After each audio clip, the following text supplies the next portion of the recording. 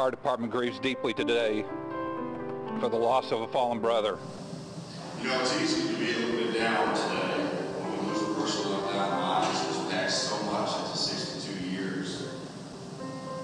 But if you knew Don, he would be the first to tell you that much has been given, much is expected. And he knew those, he knew that, and lived those words like a covenant with God. So after 25 years of knowing Don tell you, he transcended time like none. He always had a smile on his face, an open hand, and a strong desire to help and serve anyone at any time. But this morning, as we look across the church, you can readily see,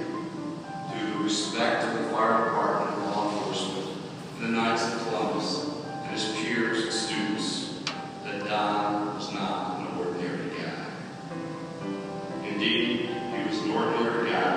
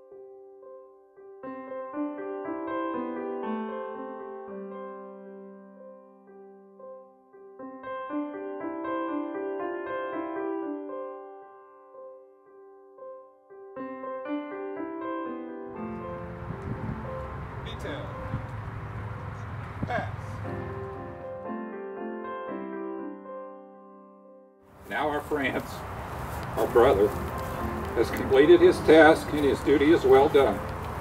The bell rings 555 in memory of Donald Mark Mize and of it in tribute to his life and his service.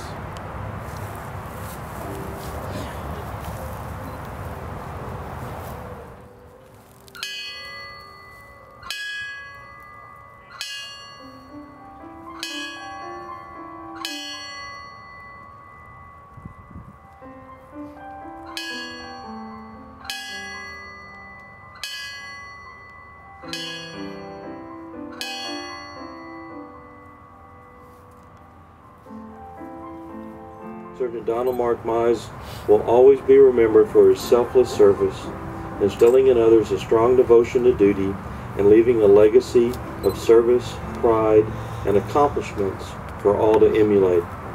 The City of Houston salutes and commends those who celebrate the life of the late Sergeant Donald Mark Mize and his contributions to the community.